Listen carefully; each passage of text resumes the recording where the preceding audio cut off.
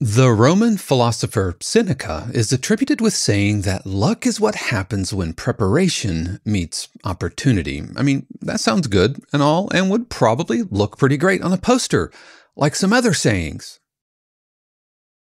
But it's ultimately little comfort to someone who's been beating their head against a wall, submitting and writing cue after cue, yet seeming to get nowhere. Well, as it turns out, Science may have an answer.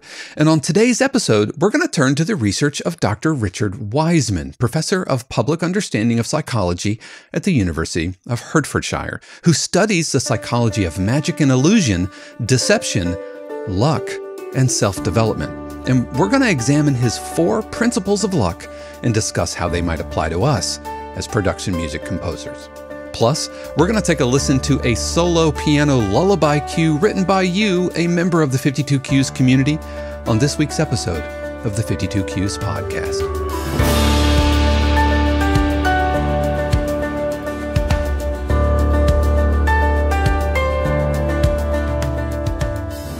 What is happening, everybody? This is Dave Kropf, and welcome back to another episode of the 52 Cues podcast, a weekly podcast dedicated to all things production and library music, where we talk about industry topics and take deep dives into the different aspects of being a working production music composer.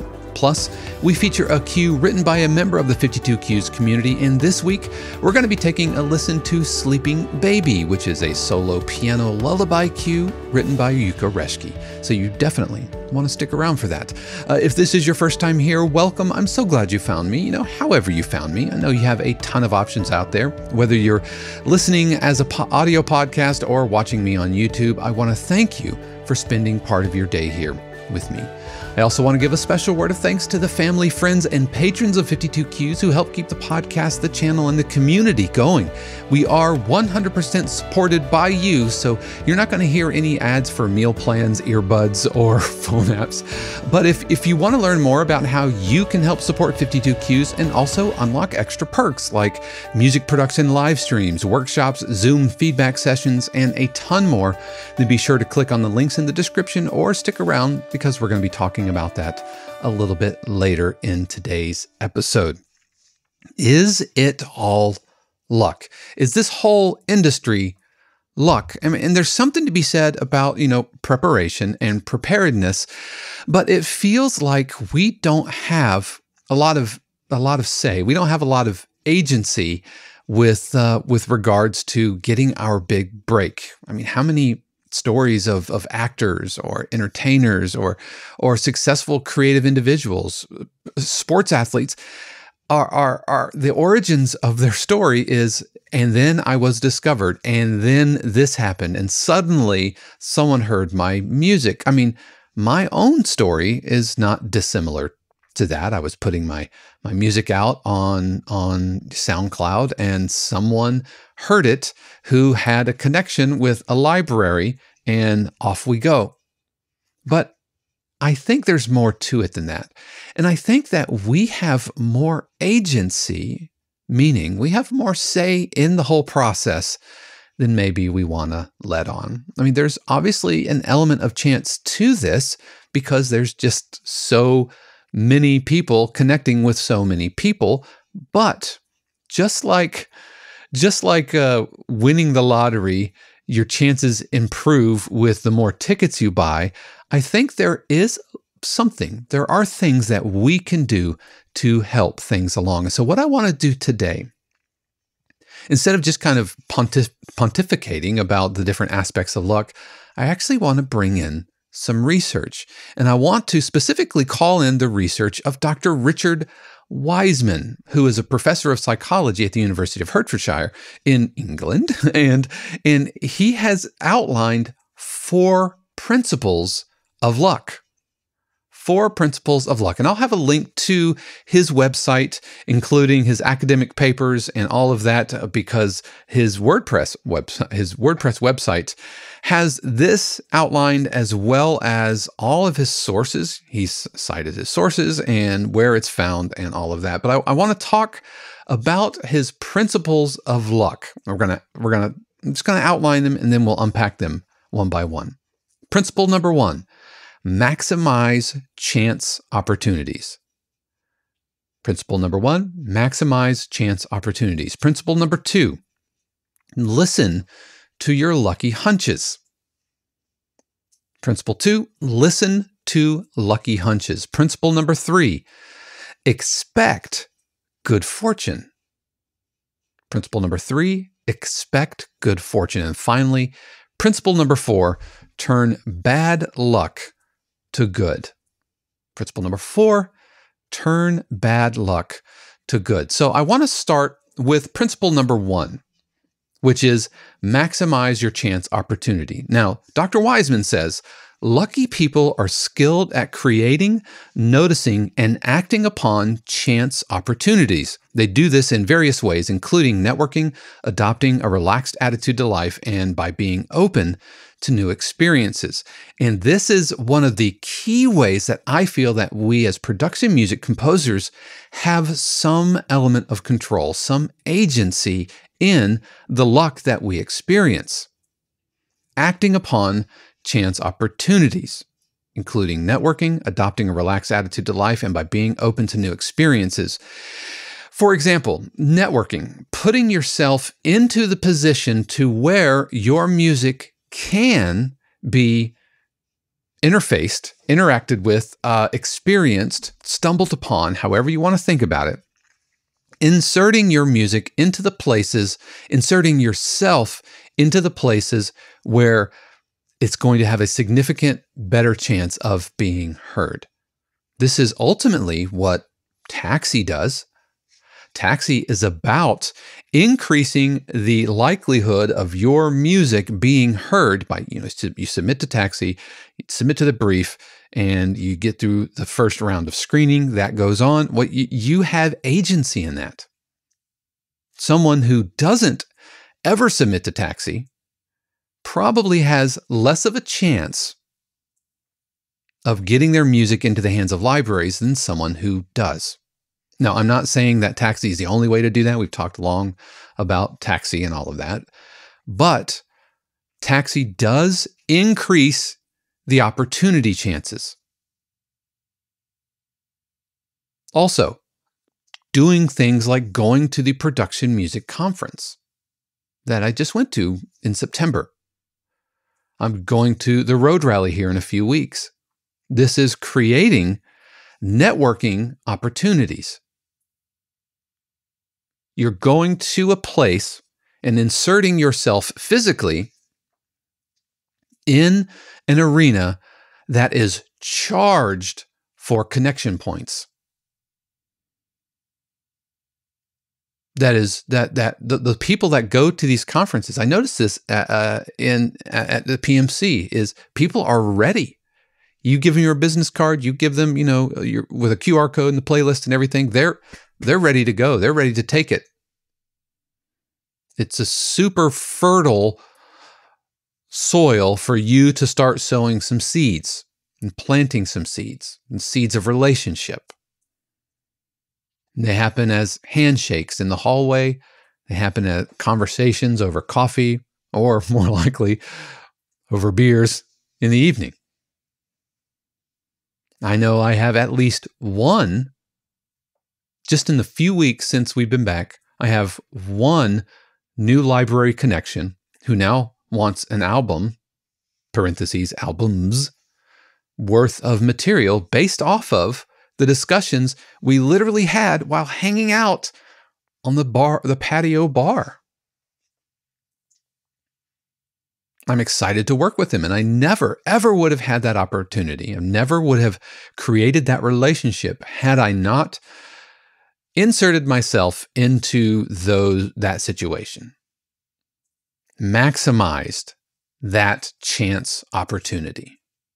When you see an opportunity, you absolutely maximize it. Which means taking the business cards that you got, and I have them all sitting here on my desk, and I'm going through them, sending out emails. Hey, it was nice to meet you. I would love to help you out. What can I do for you? Not, hey, my music's great. We'll we'll, we'll talk we'll talk all, more about that kind of stuff in a later episode. But going to PMC, going to the road rally, if you're if you're uh, if you're wanting getting into games, you know, go to a game jam. If you have local meetups in in your area, and they're probably close by, I would say you live within driving distance of some kind of networking opportunity.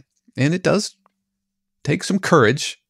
I get that. I totally get that. Believe it or not, kind of a closet introvert. I know, I know. My wife doesn't really believe that either, but um, I, I, I definitely like to keep to myself. But I also kind of know how to be gregarious and outgoing and talk to folks and all of that. Or going jumping into some of these Facebook groups. Lots of really good Facebook groups. The Perspective Facebook group is one. Uh, Dan Graham's Facebook group is another one. Um, music library composers, and just being around other folks. And who knows, you you might find, hey, we're looking for music for this or that. And so maximizing that opportunity, seeing it, noticing it, and then really following up, doing the legwork, and um, responding in time, all of those kind of things. And I like the second part of this as well, which says adopting a relaxed attitude to life and being open to new experiences. This is a this is a big one. This is a big one because I think you just have to some of it's kind of go with the flow. Just go with the flow. Be easy to work with. Be, you know, quick to listen, slow to speak, but just really have this kind of laid back, relaxed attitude, which I think is inherent in the write, submit, forget, repeat mantra that Dean Krippaehne talks about in his book of the same same name which is you write you submit but then you forget about it. Just be relaxed about it. Don't obsess. Don't get your anxiety worked up about it. Just relax. Be open to new experiences. Say yes to things that maybe you wouldn't necessarily have said yes to. Because you never know. You never know who you're going to meet by saying yes to that thing by going to that dinner. You never you never know what that what that relationship or what relationship could bud out of a chance encounter. And if you're just always saying no to things because maybe they're a little outside of your comfort zone, and believe me, I totally get that. But if you're always always saying no to things, then you never get the opportunity to say yes because it it kind of becomes this kind of self-fulfilling prophecy in a bad way where new things aren't coming at you because you keep saying no to things. It's kind of like if you keep turning your friends invitation to go out, then eventually they'll probably stop asking. And then maybe the universe works in that same way to keep saying no to the universe, then maybe it'll stop asking. I don't know. That feels really dark and hopeless, and I don't mean it that way. But it seems like quote unquote lucky people can maximize when a chance encounter occurs because they have inserted themselves and they've positioned themselves to be ready to maximize that chance encounter. So when you do have the meeting, when you do bump into somebody, have a conversation in a grocery line, you shake hands with somebody at a conference, or virtually through a Facebook group or the the PMA Zoom Hangouts. I've made absolutely made connections through the Zoom hangouts that they do at the Production Music Association. I think they call them coffee hours. And we are in Zoom rooms, right? And we're all there, we're watching kind of the presentation, and then they will break us out into breakout groups, which is, you know, six or seven folks kind of in a, in a little Zoom room by themselves and talking and sharing. And I have one uh, fellow composer I met who is amazing, who I just saw in the Zoom room, and I thought, I want to know that guy. There's just a there's a good energy about him, and I want to know him. And we've become friends. We met up at the PMC in LA, and we're going to be doing more together. He joined the 52 Cues community, all because I just saw him and thought, he looks like someone who I want in my life on some level. Conversely, or I should say, additionally, on a separate one of those PMC uh, or those uh, PMA Zoom groups, was sitting there with a library that I had worked with before, and the relationship had just kind of cooled off a little bit. You know how it goes. You you write some things, and it, there's a lot of energy, and then it just kind of cools off. You know, they don't have necessarily any any need for what you do well, but he was sitting there, and so um, I said, "Hey, it's really good to see you again. I, I would love to to reconnect." And he says, "Well, I'm going to be in L.A. Let's uh, let's connect." And we did. And we sat down, we had coffee, and he ordered a whole other album on top of more future projects. All because I went to the Zoom hangout that the PMA puts together, rekindled the spark of a relationship, which parenthetically, that relationship started through a taxi listing some four or five years earlier. And now we're off. I've I've met him in, in person. We've we've uh, we've we've actually been in the same you know space together and there's just there's just something really really that happens when you have you know a handshake and, and you're sitting across from somebody and i'm going to be talking like i said i'm going to be talking much more about that because when i come back from the road rally I'm going to kind of do a uh, a postmortem on production music conference and the road rally, my experiences, what I've learned from both of those. So I'm waiting to go to both before I unpack all of those. But my rekindling of that relationship with the library started from a chance encounter from going to the uh, the, the Zoom hangout, the PMA coffee hours, and it just so happens that we were in the same breakout room because there's probably you know 100 people like in the big zoom room and then they break them out into like i said six seven maybe eight folks in one so that you can talk because 100 people can't talk on zoom at the same time. And there he was. So does principle number one maximize chance opportunities? You absolutely have agency in this you just have to be brave and you have to position yourself to do that. All right, principle number two listen to lucky hunches. Listening to lucky hunches. Dr. Wiseman says, Lucky people make effective decisions by listening to their intuition and gut feelings. In addition, they take steps to actively boost their intuit, uh, intuitive abilities by, for example, meditating and clearing their mind of other thoughts. Listening to your lucky hunches. And, and nearly every composer that, that I've worked with, whether it's through Full Sail, whether it's through 52 Cues, or just outside of all of that, nearly every composer has an intuition that is trustworthy. Because if they're composers and want to compose, then chances are they've been around music for a really long time. They know what sounds good. What's missing is just maybe the mechanics of working a DAW or the education of understanding how production cues are put together. And, and all of that is all learnable all learnable. Intuition is tougher to teach But thankfully, most students have really good intuition. They just don't know how to get there. They don't know how to, to maximize that. And so, listening to those lucky hunches, listening to those gut feelings, I've lost count the number of times in a lesson where I've given feedback to the student and said, mm, You should probably think about doing this.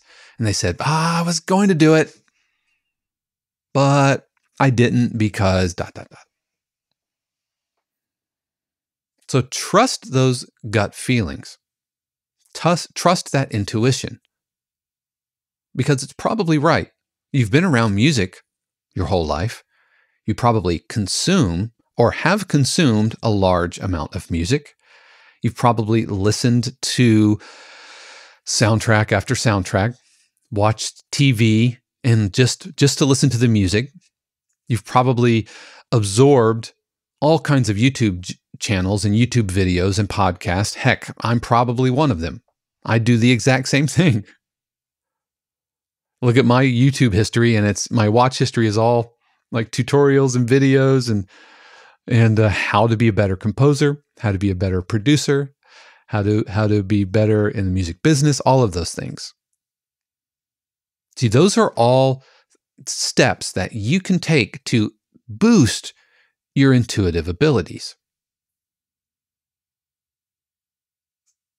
It's essentially educating yourself. Educate yourself, not not just in like music theory and how to work logic. I mean, those are great.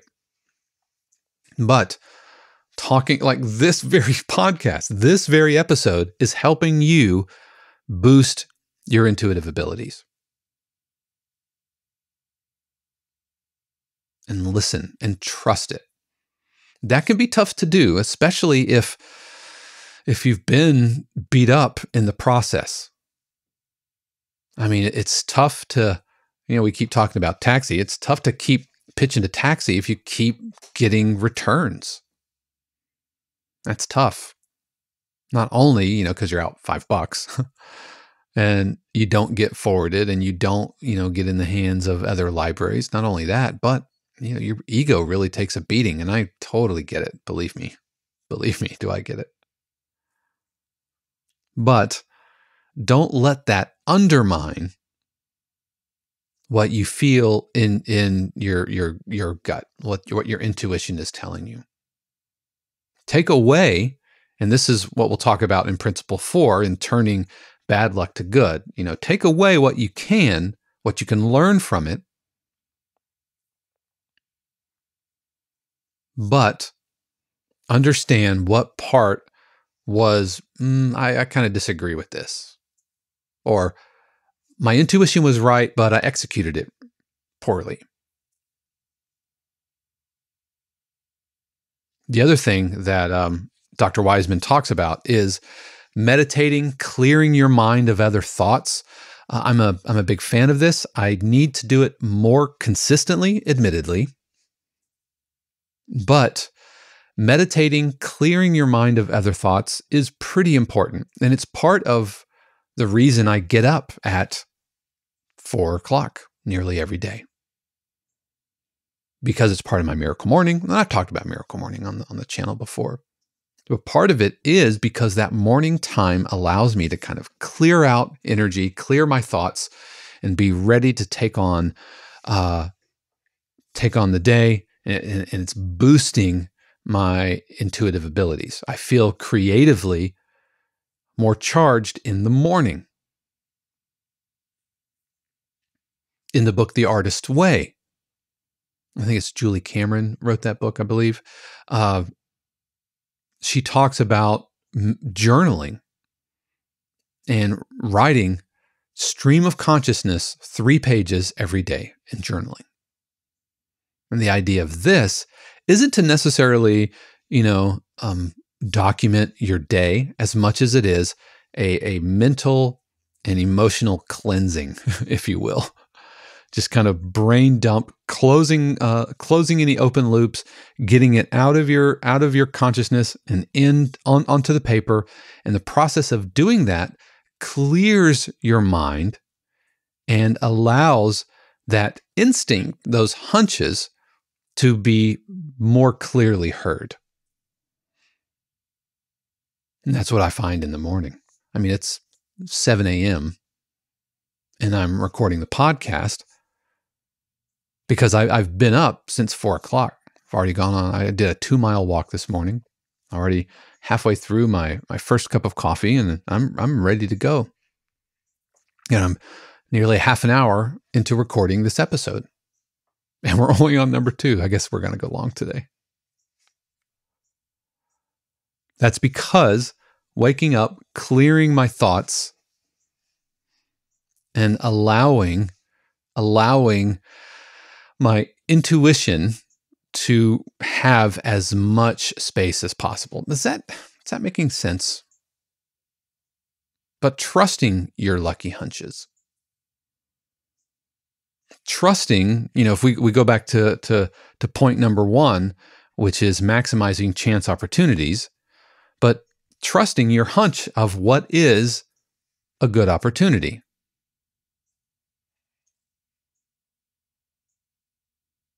Going to the PMC conference.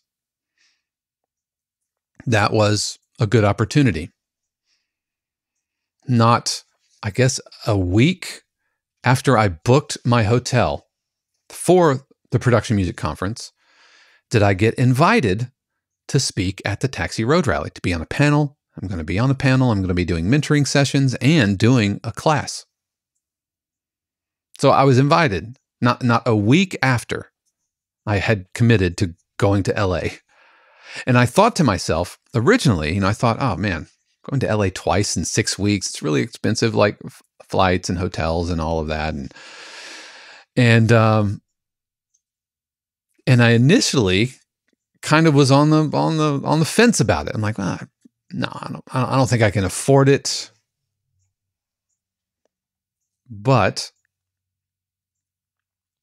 I said yes because my hunch tells me, my lucky hunch tells me, my intuition, my gut tells me that going to the road rally is going to be a good experience.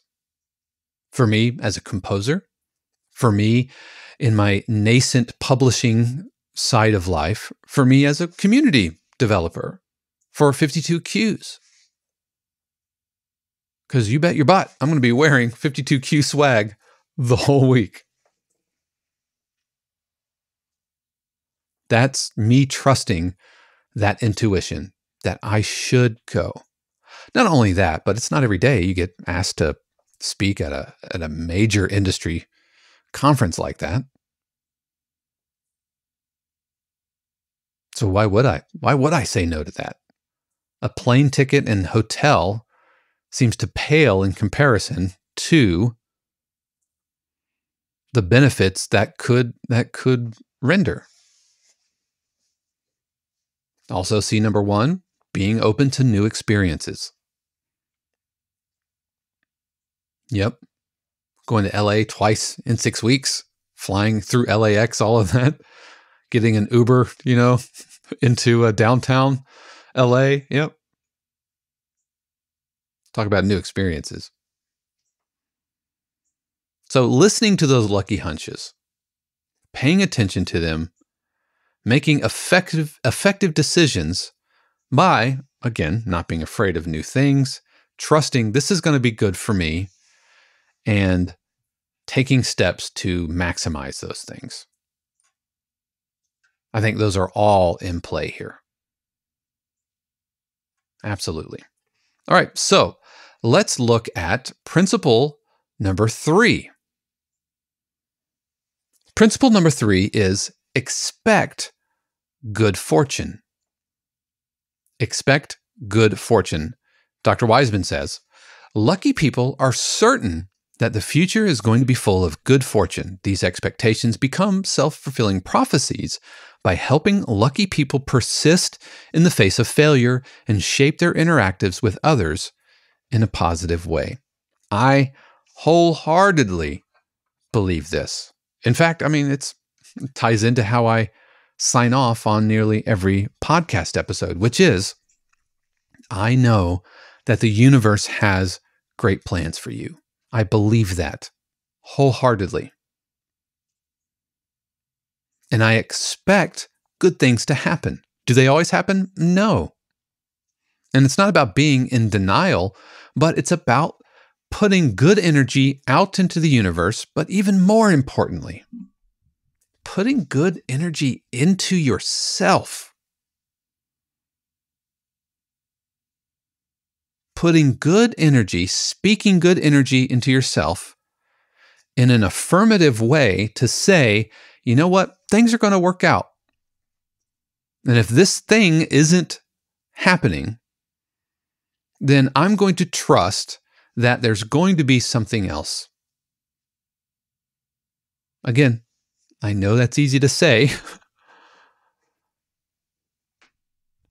very harder to do, but the inverse of that is living in worry and anxiety and always like, ah, oh, I'm a failure, blah. And and that's friends, that's that is not sustainable. That is just for for me, it feels like just emotional sludge on you know on an ocean on an ocean bird. I don't know i just got a picture of like an oil spill and you know you have like the ducks come out and stuff and they've got like all the oil on them and and that kind of negative reinforcement into into your into your own self just becomes those things. And so it's it's going to be hopeless to fly if you're covered in that that self-doubt in that just negativity just sticks on you well, I should say it sticks on me big time. So, yeah, I always try to be a positive person. And again, it's not about denial. You know, I'm not, you know, I've had my share of of of uh close calls, of bad luck as it were. But expecting expecting good things to happen. When they don't, disappointment, maybe even anger, frustration, those are all uh, those are all okay. But when I put something out into the world, when I submit a cue, expect good things. And I'm proof that they kind of start returning. Not always. I'm not fooling myself, but you take number one, principle number one, then principle number two, and it, it feeds into these things. And by expecting good things to happen, because I've maximized my chance opportunities and I'm listening to those lucky hunches, that when I go to submit something, when I go to put something out into the universe, into a library, I'm expecting it to be okay. I'm expecting it to succeed.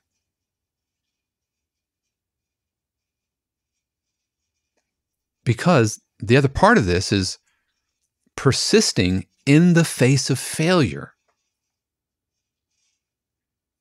So even when something goes sideways, what's what's the takeaway? What do you learn from this? And that peeking ahead to principle number 4, but helping you persist. I mean, this industry, the entire entertainment industry is full of people who just never gave up. In my interview with Jesse Josephson, he talked he talked about the waiting room. How at the beginning of their career, you know, the waiting room is full of everybody wanting to get in on the production music bandwagon. It's full of people in the waiting room, but one by one, those folks either they don't see success quick enough or they they they don't have the stamina for it and they they drop off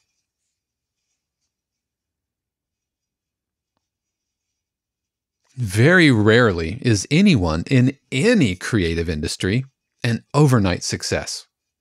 Persistence is a, a through line to nearly every successful person.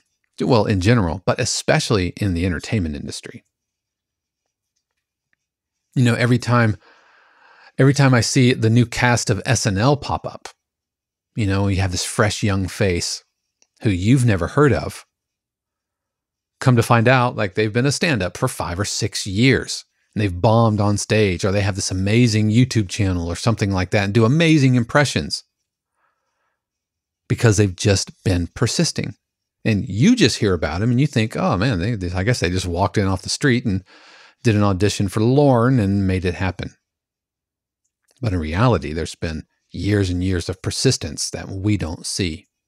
So when you see somebody like me on YouTube talking about success, just know that there's a whole origin story, years, decades in the making, that you just don't really see. The Malcolm Gladwell 10,000 hours concept is absolutely true. I believe in it. And so by expecting good fortune, by expecting positive, good outcomes and persisting when they don't happen, not only are you going to be able to keep at it, but that, I don't know, I, I feel like that becomes infectious in some way. And you suddenly start surrounding yourself, or rather, I should say, you start gathering to yourself like minded individuals folks who who also expect good things, also positive and persistent. And suddenly, before you know it, you have a community of people all pointed in the same direction, all sharing knowledge, sharing love and encouragement, not, you know, not false hope, not just, you know, blowing sunshine, you know, just because I'm afraid to offend an internet stranger or whatever. But it's all about pointing positivity to a, a, a, a tangible end and not negativity. You know, I got to tell you, when when I was watching American Idol in the heyday, in the uh, the Randy, Paula, and Simon era, who I resonated the most with, while, while Simon Cowell was entertaining and I appreciated his candor, who I resonated with was Paula Abdul. Because her ultimate outlook was about positivity. It was about putting goodness and good things out into the world could she be a little a little too soft-handed? Probably. And I uh, like I said I did appreciate Simon's honesty, but that's not how I'm going to provide feedback for folks. I don't, I don't I, think ultimately that's that's a that's that's a, a, a dead end. You just you're putting negativity out there. It's entertaining, it's fun to watch, but it's not sustainable. I don't think anybody would suffer a long life a lifetime relationship around a person like that. That's my feeling. And certainly nobody's going to listen to an hour long podcast from somebody just, yeah, yeah. Even though I know you know, if it bleeds, it leads. Toxicity does can can be a currency in social media and in algorithmically driven media like YouTube. And some of my some of my highest viewed videos are where I kind of got loose, whether it's getting loose on Avid or getting loose on waves or whatever. And I get that because sometimes you're frustrated and that's okay. You're allowed to be frustrated. But ultimately, my base, baseline emotion tends and bends towards positivity and expecting the best out of people, out of situations. And then when those things don't happen, persistence, be persistent, and you will gather around you. You will attract those who also are the same. Because, like like I said, nobody wants to work long term with somebody who's always negative. Nobody wants that kind of relationship. Well, I mean, I mean, romantically or professionally. That's tough to be around. But if you're positive, if you're upbeat, I don't mean just like bubbly person, that's what I'm talking about. If you have a, an upward view of life, of the profession, of the industry, people are going to want to work with you more. They just are. It's so much more enjoyable to be around people who are easy to be around, who are positive. Not fake, but ultimately the arc of, of their of their outlook bends towards the positive. So that's principle number three, expecting good fortune. And then finally, I want to talk about principle number four, turning bad luck to good. Turning bad luck to good. So, principle four says, and Dr. Wiseman says, lucky people employ various psychological techniques to cope with and often even thrive upon the ill fortune that comes their way. For example, for example, they spontaneously imagine how things could have been worse. They don't dwell on the ill fortune and take control of the situation. And I got to tell you, friends, this is absolutely what we have to do as production music composers, as folks in the entertainment industry, where we're ultimately relying on someone else. You know, there, somebody else is the gatekeeper of what we do, whether it's a library, an editor, a music supervisor, or whatever. We're going to get rejection. How we cope with it, how we persist through it, is vital. So, when you get that taxi return, after you lick your wounds, tend to your bruised ego. I would be surprised if it didn't happen. What's the takeaway? Is the takeaway that all those taxi screeners are totally out of touch? They don't know what they're talking about, and screw those guys. I want a refund. Or is it, hmm, what did I miss? How did I miss and why did I miss? Now, it's entirely possible that the screeners were completely full of crap and they don't know what they're talking about. But it's probably more likely that there was some little detail that you missed because maybe you didn't read the brief.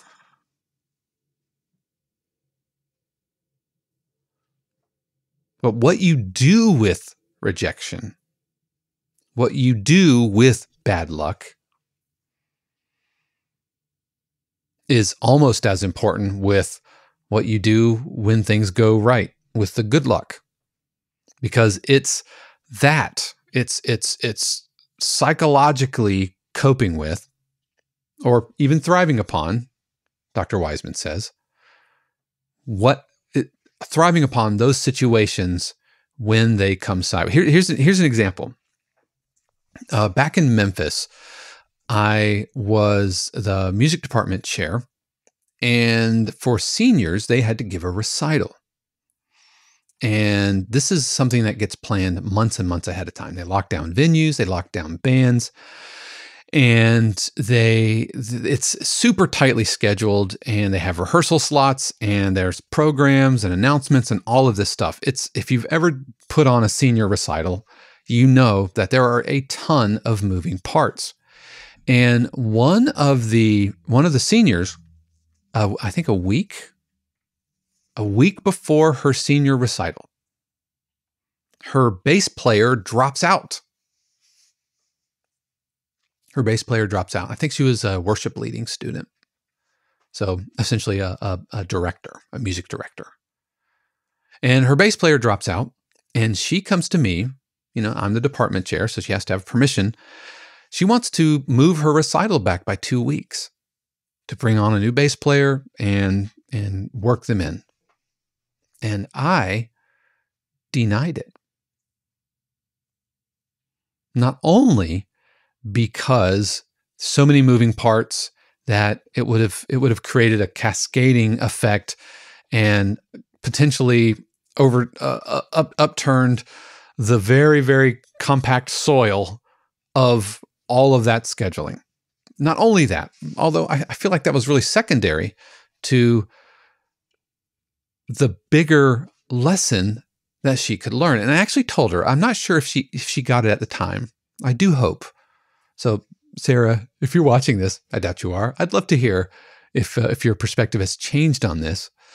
But I actually told her you have a golden opportunity that no one else this year is going to get to learn. You're you're going to you're going to get an extra bonus lesson that everybody else gets to learn out there professionally in the real world, not in an academically relatively safe environment. And that is coping and overcoming these types of scheduling things because they happen all the time. All the time. And so Sarah got to learn that. And she did. She found a new bass player. She went on to have a stellar recital, and no one, no one was none, none the wiser because of it. Wait, but now that sounds weird. No one really, you couldn't really tell. She did a great job. I'm sure there were many sleepless nights that week, and I'm sure part of her probably hated me a little bit for it. But I knew that she was going to succeed because she's very, very talented. And so I knew she'd be all right. Uh, uh, and, and I think what she didn't know, and I don't think I told her, is you know the the the head of the bass program, I think was ready to step in last minute should should he need to. I believe that we ha- we did have a safety net for her, but she didn't know that. She didn't need it either. But she got the opportunity to learn that that nobody else got. Nobody else had that chance. So when somebody when when the the graduates are out there in their churches, in their orchestra pits or whatever, and they have a professional show with people paying 50 bucks a ticket to see, you know, if it's a theater show, or whether you're in front of a megachurch with 3,000 congregants and your bass player calls in sick the night before or the week before, there's a lot more on the line than a senior recital, than a quantified numerical grade at the end of a semester. And again, I'm not sure she appreciated at the time, but I, would love to think that she did. What can you take away from this? What can you learn about yourself, about your music if it's getting rejected? In realizing that every every every situation is an opportunity to grow in some some fashion. I feel like I, I do learn more from my rejections than I actually do the forwards, than I actually do placements, because I'm, I'm not necessarily growing. I recently had had a rejection and uh, I was like, I didn't understand it at all. I'm like, no, no, this isn't, nope, they're wrong. Urgh. But then when I read the brief a little closer, I realized, oh, that's that's the thing I missed.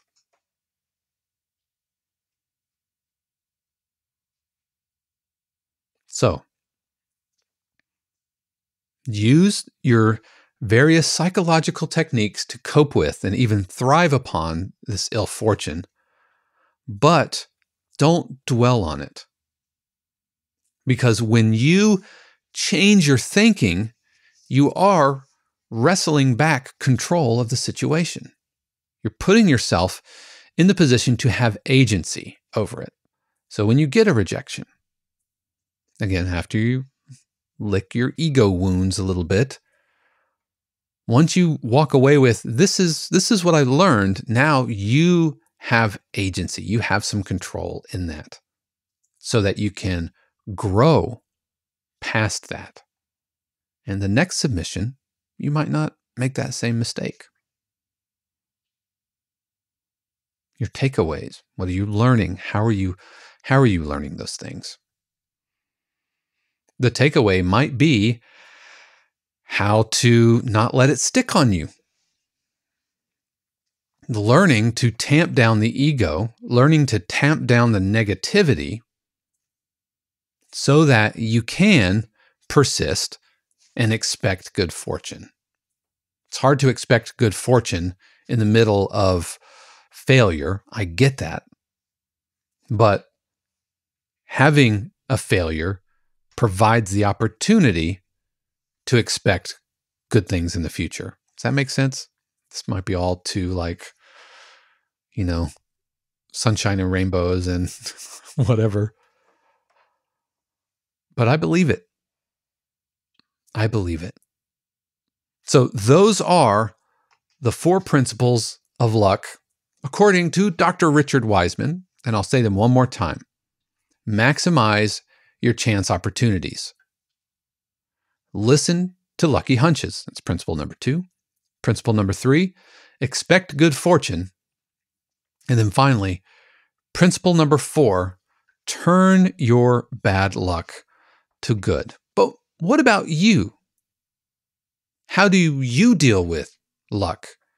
Do you have any stories to share about how luck stepped in and fortune seemed to favor the bold and the brave? I would love to hear about it. Why don't you let me know in the comments below? I do read all those comments and I do make an effort to respond. Sometimes the comments come in uh, across multiple videos and so I'm a little bit behind right now on my uh, on my response, but I absolutely do read all of them. I would love absolutely love to hear from you. So, we're going to take a quick break and we're going to hear a few words from Mrs. 52Q, Shannon Kropf, who's going to tell us all about all about the community and about how you can join. And when we return, we are going to be listening to Sleeping Baby, which is a piano lullaby cue written by Yuka Reschke. Hey, y'all, I'm Shannon Kropf, and I want to tell you that the 52 Cues podcast is made possible by viewers and listeners just like you, composers and producers who are looking for a better way to connect and collaborate. You see, 52 Cues isn't just another website selling static, pre recorded videos to a mass audience. It's a fun, vibrant, and positive community that comes together online for sharing cues, getting feedback, and discussing what's up in the production music industry.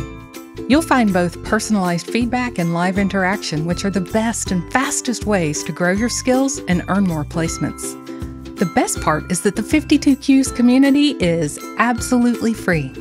And when you're ready to take your career to the next level, we offer friends and family subscriptions, which unlock weekly live streams, live interactive group feedback sessions, monthly interactive workshops, and more. Head over to 52cues.com and sign up today. And while you're there, check out our personalized feedback videos, private lessons, and of course, merch. I can't wait to see you at 52cues.com.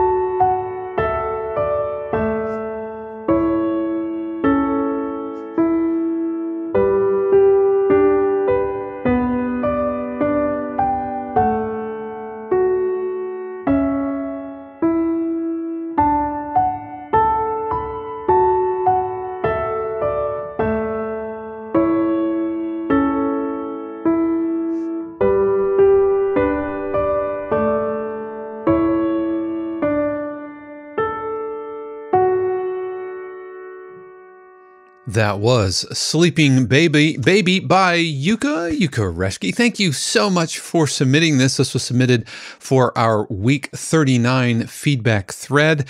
And uh, I, I, really I really like Yuka's playing and uh, really lo- love this cue. It absolutely captures that that feeling, that lullaby feeling, really solid melodic writing. It's and with when you're writing lullabies, everything has to be so the melodies can't be too busy. They can't be too like they can't really go super wide uh, dynamic ranges, super super wide um, you know octaves, and so we have to be really really careful because you know it's supposed to be you know sleeping music, and so I think we've done a really good job with that with this rather. Um, my, my main takeaway is is that the piano feels and, and, and, I, it might be a really easy fix where we can grab all of our velocities and bring them way, way, way, way down. It just feels a little too much like the attack of the piano is a little, it's a little bright and a little hard. It feels a little heavy handed. And so I think bringing all of our velocities down could help with that.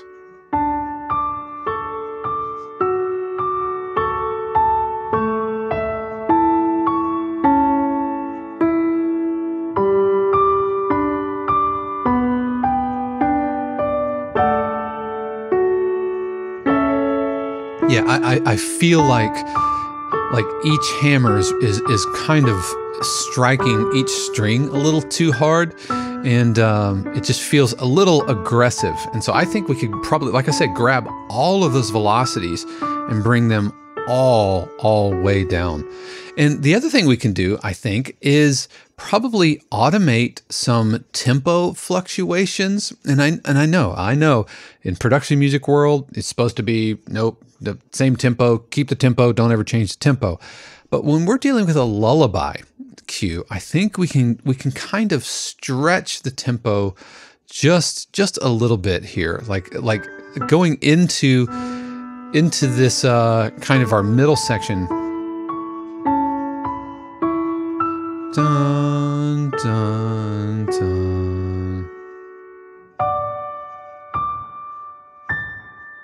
And it feels like we almost kind of hinted at Twinkle Twinkle Little Star. I think that's really clever. And I wonder also if we can maybe kind of ripple some of those notes. I'm not a pianist, but just kind of ripple those. Just so they're not quite right on top of each other. And so also, uh, depending on your quantization, it feels a little little too much on the grid.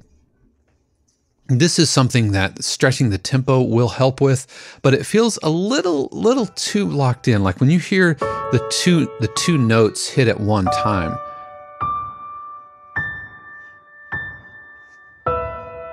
Here they're like right on top of each other.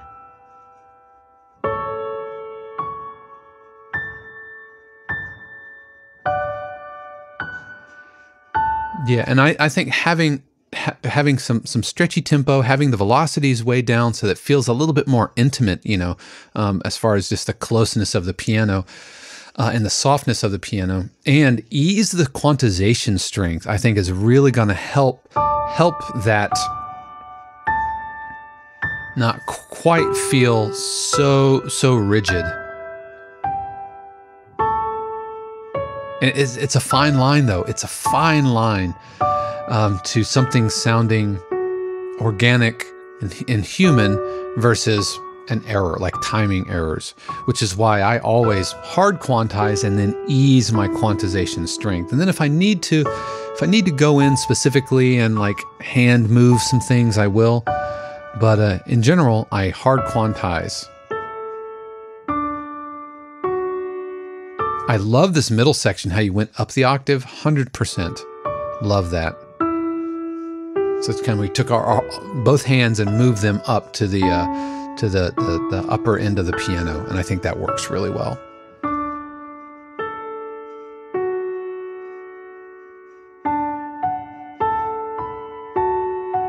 And, and we probably could have given a little bit more space before we, re- we returned to our, our opening motif. Bum, bum, bum, bum, bum.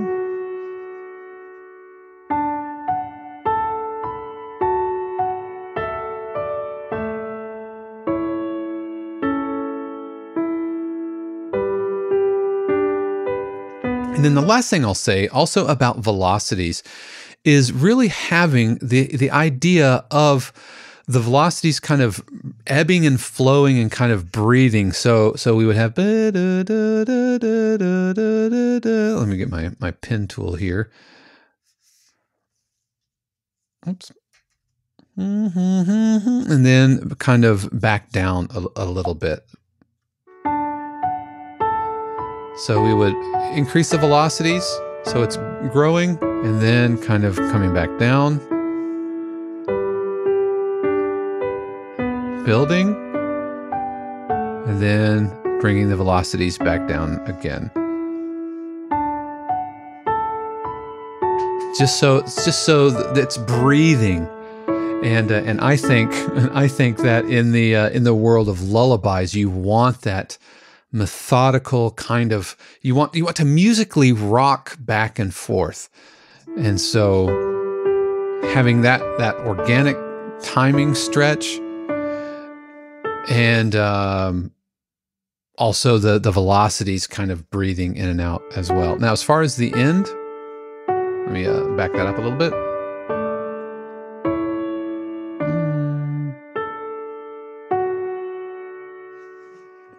And I would end on the tonic. Mm, we ended on the third. Let's go. Um,